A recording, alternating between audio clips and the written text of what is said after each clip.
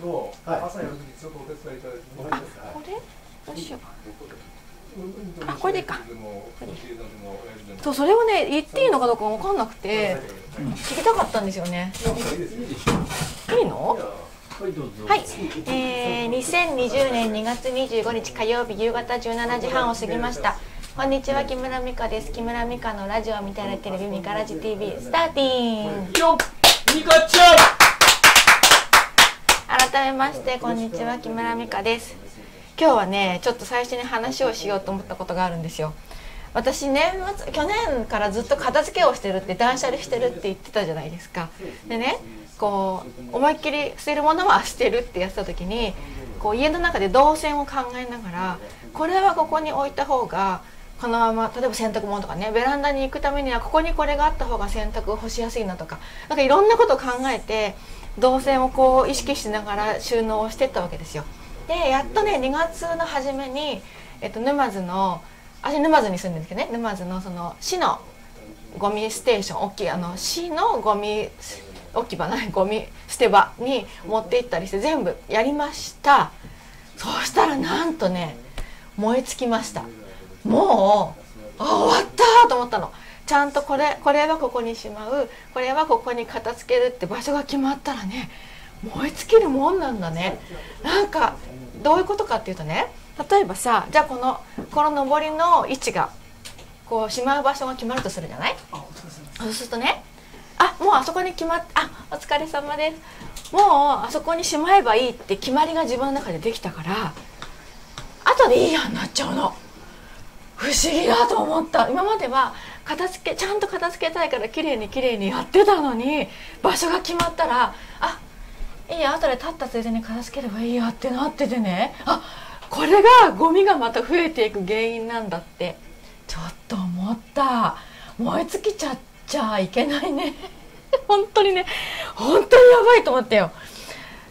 でまたそこで溜まってっちゃうからそのとりあえずゾーンとかささっつっちゃったとりあえず入れるボックスは小さめにしないと大き大きいとまたそれがどんどんどんどん増えていくでしょ？で下に溜まっているものをまた片付けなきゃいけなくなるからちょっとねあえてそのとりあえずボックスも作らずもうここに置いたらどうなっちゃうんだろうっていうスペースにとりあえず置くんですけどでもどうしてもその日中に片付けないと明日大変ぐらいのスペースだけにしましたよ。やっとせっかくね片付けたんだから皆さん断捨離とかされてる方いるって前言ってたけど進んでますか？断捨離。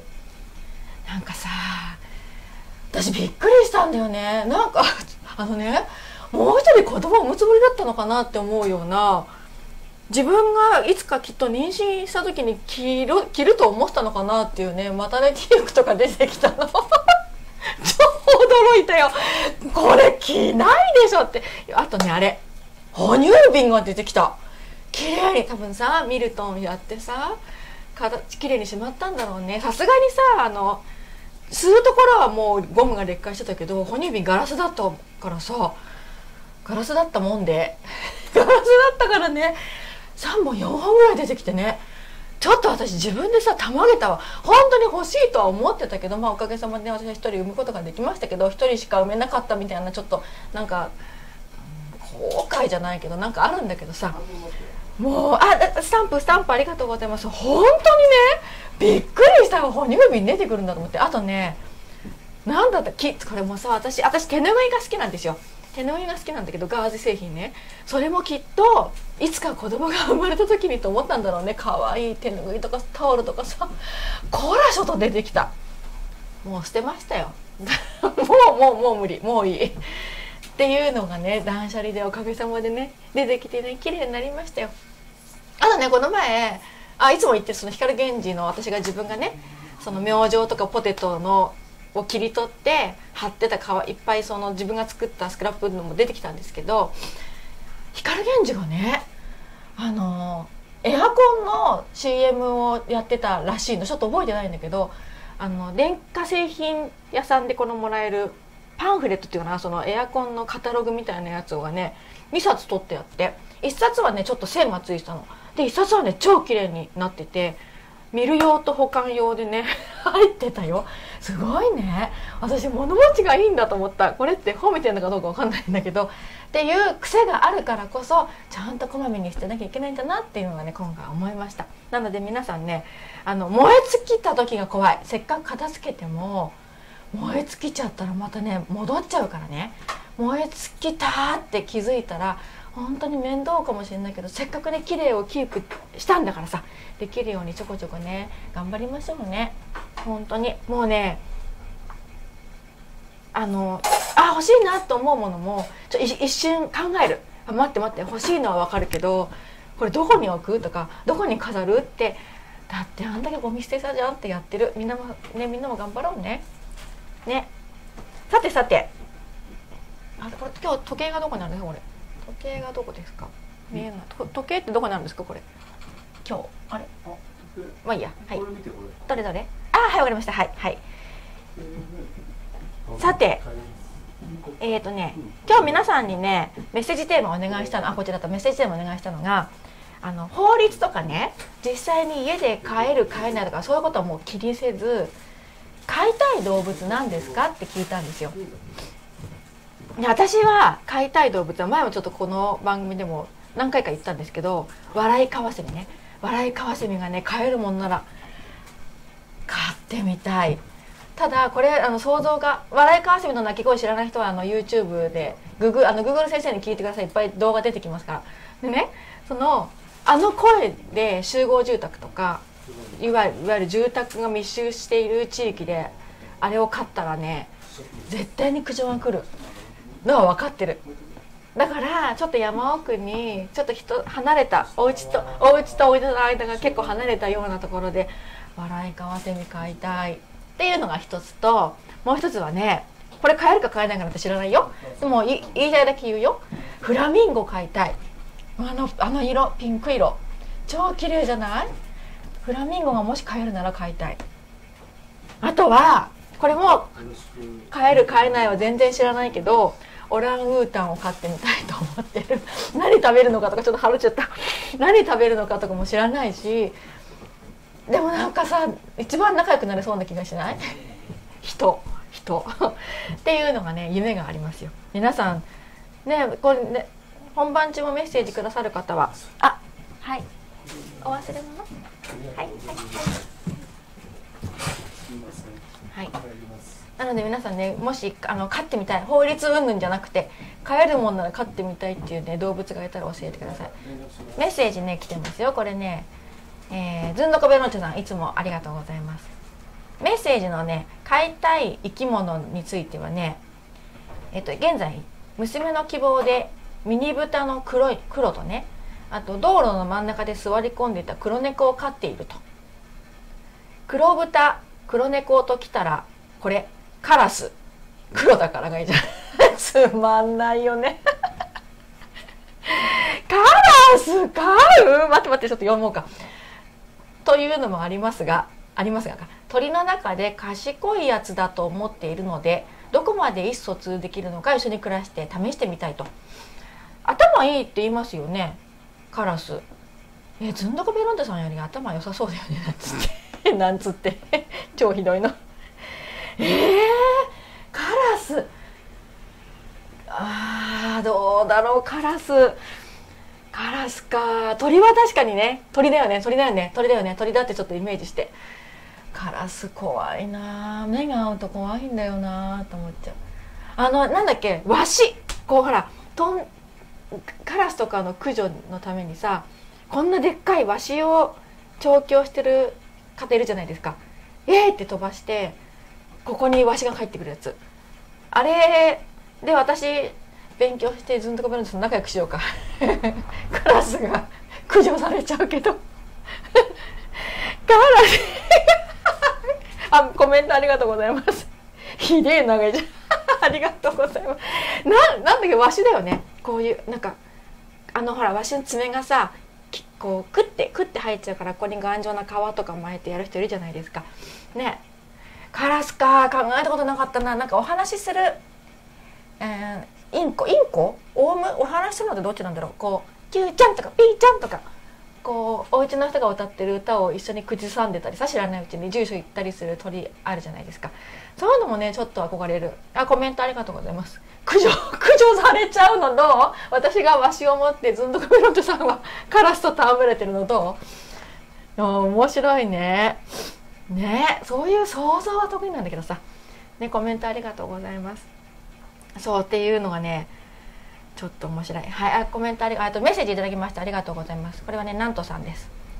飼いたい動物は これは待ってもう一回ね。飼いたい動物なんとさんね。スパイダーマンだっつうんだけどスパイダーマンっていうのは私が今思ってるスパイダーマンはこの赤いピチッとしたスーツを着たこういうこういうやつなんだけど雲？どっちなんだろう？雲もよくさ雲は朝の雲は殺すなとかさ夜の雲は殺すなとかさ結局ずっと殺せねえじゃねえかみたいなのはありますけどでも虫食べてくれるしね雲は大きさによってねちょっとあーってなる時もあるけどね。えーとこれをコメントいただきましてありがとうございます、えー人間と仲良くなったカラスは味方のカラスから攻撃されるので勝ったらかわいそう。え？そうなんだ。もう一回読むね。人間と仲良くなったカラスは味方のカラスから攻撃されるんだ。お前らあっちのグループ行ったなみたいなカラス同士の何かがあるってことなのかな。派閥みたいな。へえ ねそう。雲は殺しません私も雲は殺しませんとか殺せない。怖いもん。この怖い。虫が基本ちょっと苦手なので雲は殺しません。あの虫食べてくれるんだもんね。っていう頭があるから殺さないのもあるけど。えちょっと待ってスパイダーマンってスパイダーマン勝ったらさあのでっかい赤いスーツ着たのが家にいるんでしょ？ベタベタって。ちょっと面白い。想像したら面白い。うん。はい。中部電力が勝っていた？何もスパイダーマン？雲？それはやっぱりそのあれ？虫よけ？カラスあカラスを飼ってたの？えあどうして？それはいろんなものから電線を守るためですか？電池の上に巣作っちゃうもんで。電力会社はね電柱の上に巣を作らないようにカラスをか飼うの？飼ってたってし巣を作っちゃったもんで巣を持って懐いちゃった。懐いちゃうの？そうな電柱の上に。そうなんだ。へえちょっとそれはそれで可愛いね。でそれが味方のカラスに攻撃されててかわいそうだった。そうなんだ。そっか懐いちゃうとそうなっちゃうってことなんだ。うん。だから野生のものはやっぱり良くないね。そう。ね。か手を出しちゃうのはね。人間に懐かしちゃダメです。よ人間に懐かしたらいけないそうですよ。ずんどくベロンタさんカラスは。だからちょっとあ諦めて違う鳥にしてください。なんつって。面白いねえー、っとえー、っとはいメッセージはいはい。あ面白い。さあそれでそれでねえー、っとメッセージねこれ普通おたでいただいたんですけれど普通普通のお便りね普通のお便りを待ってますからね。いつもありがとうございます。これね七種のゴンベさんなんですけれどえー、普通おた先週かなテレビの番組でリサイクルのプラスチックごみのプラスチック容器いろいろを小さく切って量を少なくして出している女優さんがいたという話をしていたんですって。でね1週間ねこの方真似したんですって。市の袋45リットル入りにはいつも3袋もプラスチックの容器が入ってたの？大家族か？大家族？結構な量ですね。45リットルで3袋って。を小さく切ってね1袋とあと4分の1の量に減ったって。それはいいことですよね。えっ、と青木さん焼津はゴミの分別は厳しいですか？プラスチックゴミと紙類は分ける分けますか？うちの奥さんは分けてるけど俺は分けてここで市市は市は分ける分けなきゃいけない？分けなきゃいけない。うんうん、だからその市によってねあのなんだっけ焼却炉がこう立派なやつだと気にか缶とか瓶とかペットボトルさえ分ければ大丈夫ってとこもあればきちんとプラスチックも分けましょうねっていう市もありますけれどすごいね。飽きるまで続けようかな。ぜひぜひ続けてください。それでゴミ袋だって買わなきゃいけないんだからね。節約になるしゴミ袋だって安くないよ。指定のゴミ袋で出さなきゃいけないしね。そうだからうちもなるべくゴミは出さないようにって気をつけるけどどうしてもね出ますよね。でも最近私ちょっと気をつけてるのがペットボトルをなるべく減らしてこういうちっこい何あれポットをこうあなんか女優ライトが来てよ美しい人はより美しくなる。そうでない人はそれなりのねライトがすごい大きなライトがヤン TV あるんですよ。そうかこれぜひねこの続けてみてください。ゴミすっごい大事だと思う。私もなるべくこううん10リットルの袋とか言っても20リットルで抑えたいっていう一応毎週毎週ね目標があるわけですよ。でどうしてもそれに入りきらなかったらちょっと本当にちっこいちっこいやつに入れるっていうふうにはするんですけどでもやっぱりその時に買い物をした時の袋がビニールゴミなのか紙入れで包まれてるゴミなのかでほらみんなほら見て美白効果があの美しい人はより美しく映る ライトが。すごいね。みんな騙されちゃうよね。えちょっとこれぜひごゴミ続けて教えてください。これせ例えば45リットルじゃなくて30リットルになったとかね。なんかそんな風になってたらすごいいいことだと思いません？私も切るのはちょっと面倒だけどでもゴミはちゃんと一応プラスチックを洗ってどうしてもねあの汚れたものはそのまま汚れたゴミ燃やすゴミに出しますけどなるべくこう分別してやるようにしてますよ。ね。えちょっとこれぜひその経過をその後教えてください。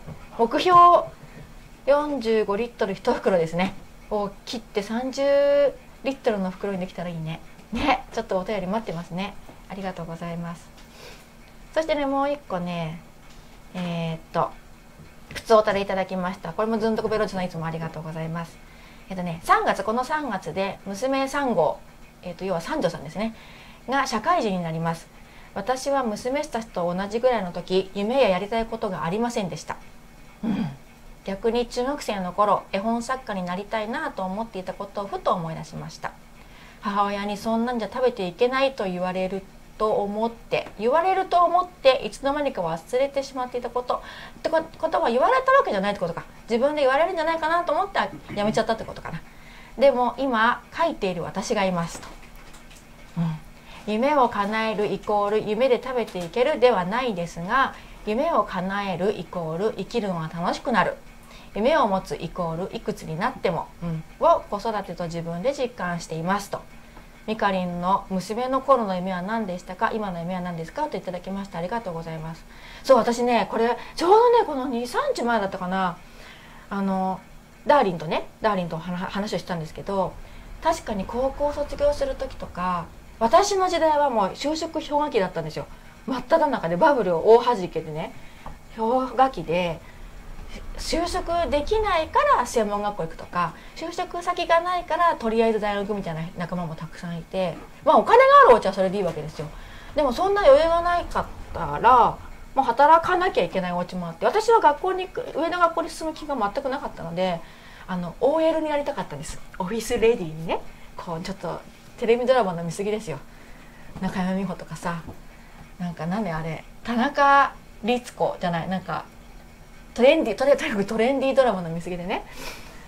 憧れたから OL になりたかったので就職したくて就職したんですけれど実際にね今みたいに体験職業体験ができるとか体験入学ができるみたいなのもなかったからこう夢見てねきっとこれは好きなやりたい職業だからできるはずと思ってやってみたら全然違ったとか思ったほど楽しくなかったとか多分そういう経験を何回も何回も経てこう大人に皆さんなっていくわけじゃないですか。だから今ってすごくこう恵まれてる時代でもあるしチャレンジ試せるっていうのがすごいいいなと思うんですよ。で実際に試してみて試しても試すって言ったってさ本当にもうこんなもんじゃん仕事って仕事って大きいうちのこんなもんしかさその数時間で試せないわけだから分かんないかもしれないけどでもやっぱりちょっと体験できるって雰囲気を味わえるってすっごいこう励みになるなと思って。私ももしあの時にそういう体験ができたらやりたいことあったかもしれないんですけどね。私の娘時代の夢はまずねあの幼稚園の先生やりたかったんですよ。でピアノをずっと習ったのでピアノの先生にもなりたいなとかこういろいろ考えましたね。あとね歌手でしょ。歌手歌手歌手。アイドルになりたかったのでそれも憧れてたしあとはねお嫁さんになりたかったの。すっごいお嫁さんになりたくってお母さんにもなりたかったしだそこら辺はかなあーより美しくなっちゃう。すいません皆さん。なんでそこで笑うの？どうしてか今笑われちゃった？笑ってたよ。笑ってたよね今ね。プってプって言われた。次のね次のアキラさんにプって言われちゃった。そうそんな夢は確かに叶ってるんですよね。あとその OL になりたかったのもあるしあ占い師もなりたかったんですよね。なんかね憧れるものはいっぱいあってちょこちょこかじってる気はするってねこれちょっと言っていいのか分かんないから言わないけど今ねちょっとチャレンジしてることがね一個。言っていいか分かんないからちょっともうちょっと待っててください。もうちょっとしたら多分言言えるんだと思うんですけどその目標に向かって今チャレンジしてることが一つあって本当はねすっごい言いたいの超言いたいの。もうベラベラ言いたいんだけど。ベラベラ言いたいけど。ちょっと待ってて。分かんないんだよ言っていいのかどうか。だからそこはそれもやっぱり夢があってでこうやって今焼津 TV とかもねこうやってパーソナリティさせていただいてっていうそういう夢をが少しずつ叶っていてでやっぱりやりたいこれありますけどどうですか？はいやります！って手挙げられるかどうかっていうこの勇気もね夢を叶えるすっごい大事なチャンスだと思っていてこう前も言ったかななんかタイミングっていう言葉でごまかしごまかすって言い方失礼だよね。ちょっと雑な言い方だけどごまかす人もたくさんいて今じゃない気がするっても確かにあるかもしれないけど今しか来ないかもしれなくてもう次はないかもしれなくて。でそうすると今はちょっと違う気がする。まあ次がなかったらそうだけそれだけのご縁だったってことでみたいな人たくさんいるんですけどね。お前が本当にやりたいことは何なんだよってね。ここまで出るよね。飛び出ちゃってるけどさ。なんかそういうのもうーんこうがんたもちろん前も言ったけどやりたいことがあったらそのたために頑張らなきゃいけないことはあるんだよ。で頑張らなきゃいけないことをことも頑張らなきゃいけないのは頑張らなくていいって捉えてる人もいるしその履き違いがねなんかたくさん起きてるなって気もしていて。それがなかなかあコメントはいありがとうございます。田中美奈子田中美奈子じゃなくてさ違うの。田中美奈子じゃなくてあのトレンディードラマ皆さん私あの昭和49年生まれのねえー、と私がドラマ見始めた頃はあれですね朝のダブル朝のとかあとな中山美穂もドラマに出始めたしあと何？誰？わかんないちょっともう昔すぎて出てこないんだけど。あー田中美奈子じゃなくて。ちょっと忘れちゃったごめん。もうだからそれなんかそういうトレンディーにね。あ宮沢りえとかもさ声がでかかった今。宮沢りえとかもさドラマに出ててね。あいいな。エレベーターガールのドラマがあったんだよ。いいなエレベーターガールとかね。もうとにかくミーハーだもんでさ。ミーハーだもんで。ちょっとそういうのに憧れた時もありましたよ。ねえ。えでちなみにねコメントこれフェイスブックのね焼津 TV のところにコメントいただきましたよ。ありがとうございます。カモは1週間保護したことありますがじゃあカモって何食べるんですか？カモって何食べるの？保護ってことは餌あげしたってことだもんね。カモって何食べるんですか？害虫。害虫？ああそうかだから泳がしていくのか、あそうだよね。稲を食べちゃうやつを稲を食べちゃう悪いやつをカモが食べてくれるんだよね。えなんでカモを保護してたの？これも道で寝転がしたの？そうなんだ。私ねこんなこと言いながらだよ。こんなね皆さんにさ飼ってみたい動物はなんて聞きながらね聞きながらだよ。私実はあんまりちょっと触れなくて動物にあのね潔癖症とかじゃないの。ちょっとねまず1個猫にアレルギーがあるから触れないっていうのもあるんです。それとはちょっと別に可愛いと思うの。犬も猫もね。鳥もね。可愛いと思うんだけど手はねずっと後ろから出ないんですよ。可愛いって言うんだけどあー可愛いはいかないの だからちょっとちょっと抵抗があるんですよ。もう人間の赤ちゃんならいくらでも舐め回すぐらい可愛い可愛いってできるんだけどね。動物はね可愛いと思う。だからそこら辺にいるのも全然平気なんだけど手がこうやってあーっていかないのは多分苦手なんでしょうね。だからこそ飼ってみたい動物っていうのがあるなっていうのはね思うんです。なんて言ってるうちにもう時間になっちゃった。はい。コメントありがとうございます。道で拾ったんだかも拾うんじゃないの？道で保護したんでしょ。面白いね。なんで道で拾って食べちゃったの？保護え食べてないよね。ね。保護したって書いてある。どこに返したの？保護して食べたらいいじゃん。ダメダメ。さてさてさてえーとね、次回の「みからじ」なんですけれども3月ね、えー本来みからじさん第3第4なんですけれどちょっとあの私の個人的な都合で、えっと、第4第5でみからじをお届けすることにしております3月は24の火曜日にお届けいたしますので皆さんお間違いのないようにえーはい、お間違いのないようにチェックをしてください。ヤズ TV の,、えーのホームページでチェックしてくださいね。えー次、えー6時からは「あきらのようこそハポン」で引き続きヤズ TV をお楽しみください。はい、えー、とコメントありがとうございます。夜道路を横断横断してたから保護したのね。なるほど。じゃあ食ってないそうですよ。なんだ、なんちゃって。それではまた、えー次回3月24、4日にお会いしましょう。みからじ TV でした。バイなら。ネギしょってたのかなネギ背負ってたのかなだって。バイなら。